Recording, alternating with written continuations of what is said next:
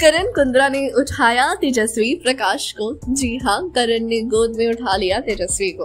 अब आखिर ऐसा क्यों हुआ? चलिए आपको बताते हैं। दोस्तों, दरअसल घर में एक कैप्टनसी टास्क चल रहा था, जहाँ पे दो टीम्स थी।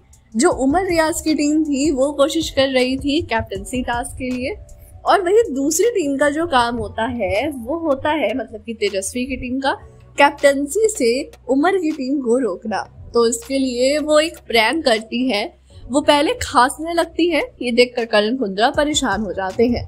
और इसी के बाद वो चक्कर भी खाने लगती है और ये उनकी एक्टिंग होती है। करण कुंद्रा ये देख के परेशान हो जाते हैं। आके तेजस्वी को तुरंत वो अपनी गोद में उठा लेते हैं और फिर बिग बॉस के घर के अंदर ले जाते हैं।